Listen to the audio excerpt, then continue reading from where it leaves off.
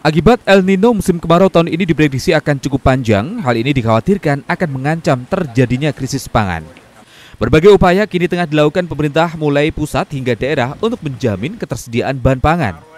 Kabupaten Ngawi yang menjadi salah satu lumbung pangan nasional diyakini akan tetap mampu bertahan dan hingga meningkatkan produktivitasnya.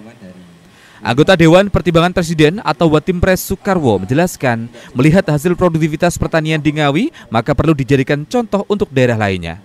Terlebih di Ngawi dengan produktivitasnya mampu 13 hingga 14 ton per hektar, maka perlu dicontoh daerah lain yang rata-rata 5 hingga 6 ton per hektarnya. Menurutnya jika daerah lain mampu meningkatkan 10% saja dari produktivitas saat ini, maka stok pangan dipastikan aman. Seperti yang saat ini ada di gudang Bulog Geneng, stok beras masih mencapai 2.000 ton. Meski setiap hari rata-rata untuk program stabilisasi pangan, Bulog mengeluarkan hingga 15 ton. Memang tempat sampean berdiri ini Ngawi itu paling bagus produktivitasnya.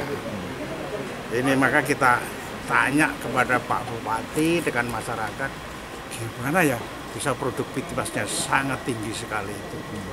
Bahkan eh, ada satu kelompok tani satu hektarnya 14 ton. 13-14 ini kan luar biasa. Pada saat rata-ratanya nasional 5,6 kalau itu kemudian naik katakanlah 10 persen berarti kan pengurangan impor terhadap beras bisa signifikan untuk berarti devisa kita juga aman berarti keyakinan sampean makan ada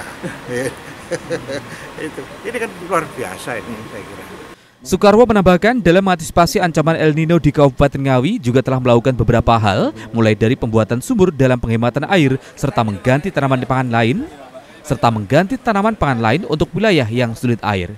Selain mengecek gudang bulog sebelumnya, Soekarwo juga audiensi dengan petani serta mengunjungi salah satu gapoktan di Desa Kartoharjo Ngawi. Itu Wahyu, CTV, Ngawi